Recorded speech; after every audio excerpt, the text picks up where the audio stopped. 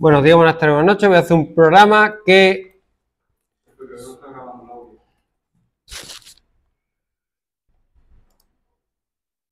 ¿Cómo que no estoy grabando el audio? yo ¿Quién ha sido? Ah, claro, claro que te ha equivocado. Y al entrar también. Primero, suma igual a cero. Y ahora voy a hacer un repetir. Ah, no, no, no, perdón, perdón. Escribí, dime un número.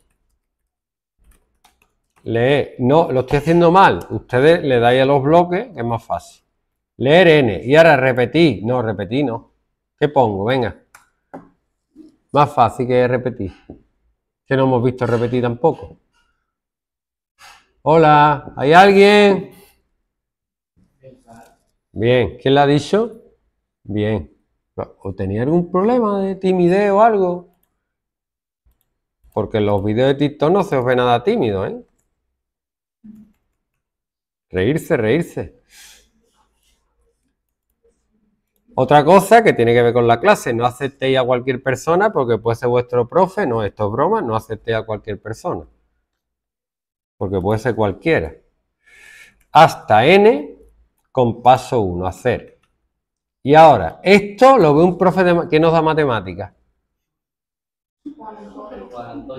Vale, esto lo ve Juan Antonio y le explota la cabeza. Suma igual a suma más i. Vamos a ver. No puede ser, no puede ser. Será igual a x más 1, ¿no? Pero x no puede ser x más 1. Sí puede ser, vamos a ver. Hola, soy Coco.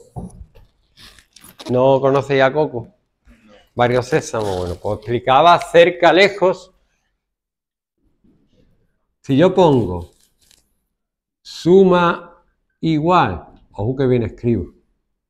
Suma más i.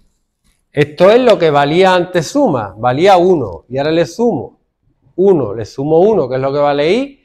Y luego suma vale 2. Hostia, ¿lo he hecho al revés?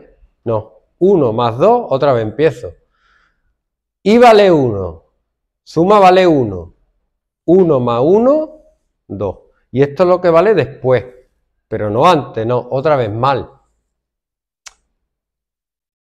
Suma vale 1 y vale 2 ahora.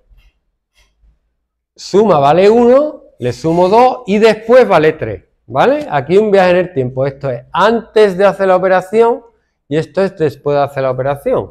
Pero yo en matemáticas yo no puedo poner x igual a x más 1. Porque si x vale 3, 4, o sea, 3 no puede ser 4. No puede ser. Es imposible. Pero los informáticos somos así de chulos. Además nos gusta fastidiar a los matemáticos. ¿Ya está? Ya está. Digo, ya no tengo que poner más nada. Tengo que poner escribir suma.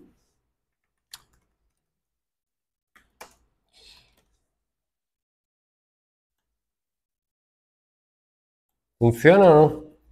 Ahora, la idea de del pensamiento computacional, es decir, de hacer las cosas es evitarte el trabajo de hacerlo tú.